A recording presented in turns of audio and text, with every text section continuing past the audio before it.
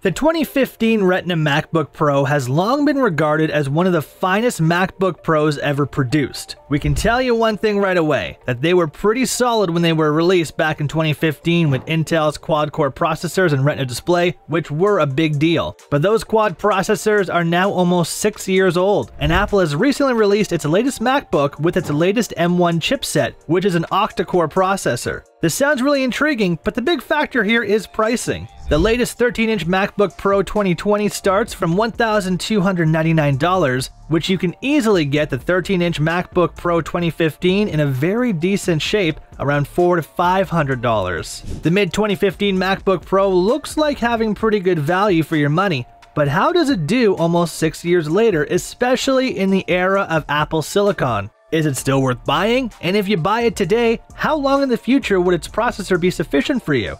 This video is going to answer all these questions in detail, so make sure you watch this video to the end carefully. Let's get started. There's no denying that the MacBook Pro that Apple is presently offering with the M1 chip is an incredible piece of equipment. However, a small group of MacBook Pro customers who purchased the laptop between 2016 and 2018 has experienced different problems with the laptop. The major problems included a malfunctioning keyboard, the display blacking out, and the touch bar acting erratically. While not all MacBook Pro customers from 2016 to 2018 have reported all the problems, a significant number of them have. Most of them have said that their laptop has been plagued with keyboard problems. Following these events, many people have resorted to the internet to spread the message that the 2015 MacBook Pros are much better. The MacBook Pros from mid 2015 are available for purchase at a discounted price from Apple's refurbished store, you can get the 15 inch model at a very reasonable price. We will talk about this specific model. So, let's dive into the appearance of these MacBooks. MacBooks are best known for their premium look and sleek design. This is still the case with this particular MacBook. This is by far the most interesting feature of this device. You don't even need to touch it to appreciate its beauty, you can just gaze at it. It is entirely made of aluminum, with perfectly cut edges on all sides, which is nothing short of a technical marvel, especially when you consider how thin this thing is. This MacBook is the last one proudly displaying the illuminated Apple logo right behind the display, which smoothly transitions into a black solid and is definitely pleasant to operate. The palm rest is fairly large and pleasant, allowing you to rest your hands comfortably while using the keyboard. Behind the palm rest are the twin stereo speaker grills, the keyboard, and of course, the glass touchpad. Moving forward, the next thing to look at is the display of the MacBook Pro 2015. The stunning Retina 15 4-inch screen has a fantastic resolution of 2880 by 1800 pixels. Yet another highlight of this Mac is that it stands out in a market full of poorly maintained screens and cheap looking attempts to compete, but they don't have a chance. This masterpiece is as sharp as they come, and it has nothing to offer that other Macs, even those presently on the market, do not. It has a maximum brightness of 300 nits, but in all honesty, it doesn't seem to be anywhere near dull, even when used in daylight, and you can use the brightness slider in a moderate setting.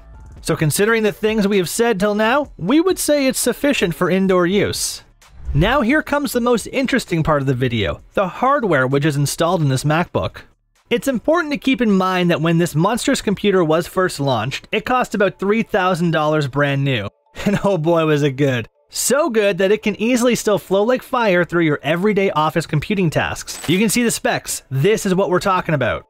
It has a wealth of specifications that guarantee it will continue to perform as if it were brand new right out of the box, even after 6 years. You can use it with tons of content loaded into your primary productivity tool. You can make daily live conversations on Skype, Teams, and Zoom to help you get more work done. The quad core processor installed in it is more than enough for daily office tasks. But here, we would like to tell you if you are someone who needs a lot of work from the processor, this MacBook just might not get the job done for you. For example, you are a content creator who needs to do a lot of video editing and processing, software compiling, financial scientific modeling, or 3D rendering and other tasks just like that, this hardware is not good enough for you. You should focus on buying the latest MacBook Pro with the M1 chip. Not only will it serve you better, but you will be future proof. But don't forget, if you are just like most people in the world who demand a decent performance from their computer, not super heavy, just like we talked about now, we are talking about simple day-to-day usage, normal video editing, internet browsing, Microsoft Office, just go ahead and buy this one. Don't worry, you would have a great time with this machine and you would love it. Now, this raises another question. Is this machine future-proof if you were to buy it today?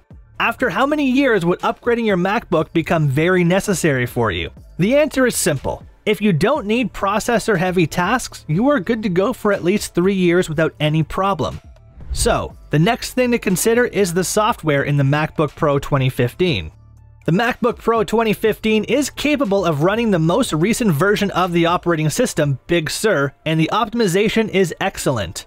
No, this is not only for a few particular devices, but for almost every machine that has been authorized by Apple to run the software. It definitely hasn't slowed down in the least, if not any faster, and the greatest part is that everything is very sensitive to your input and commands. You get the impression that everything in this machine is so simple but so exquisite, so precise, and so one of a kind at the same time. And the manner that each application is integrated into the whole ecosystem leaves you wondering why you haven't made a move to Mac years earlier. It definitely has its strange aspects, at least until you get used to it, but if you figure out how to navigate your way around, you'll fall in love with it.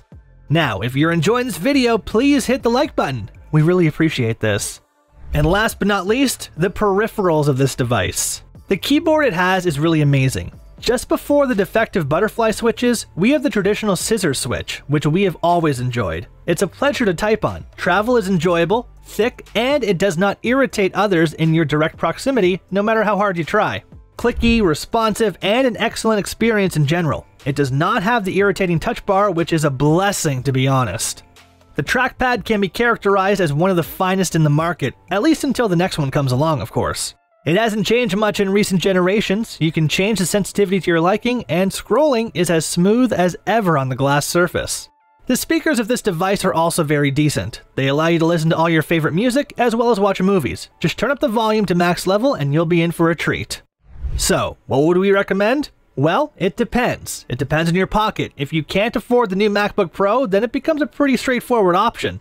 Just go ahead and buy the MacBook Pro 2015. But if you have flexible pockets and you are thinking about buying either the MacBook Pro 2020 or MacBook Pro 2015, we will highly recommend going with the newer MacBooks featuring the M1 processor. And if you can wait a bit, we have more good news for you. The upcoming Apple MacBook will feature an M1X chip, which would even surpass the performance of existing MacBooks. So if you're a person who needs heavy processing work from their machine, this upcoming MacBook would be a game changer for you. So that was it for today's video. We hope we have answered all your questions. We would like to know, what do you think about the MacBook Pro 2015? Would you buy it? Or if you are already using it, how's your experience with it? Let us know in the comments. We keep bringing you such amazing videos, so make sure you have subscribed to the channel and press the bell icon. We will catch you in our next one.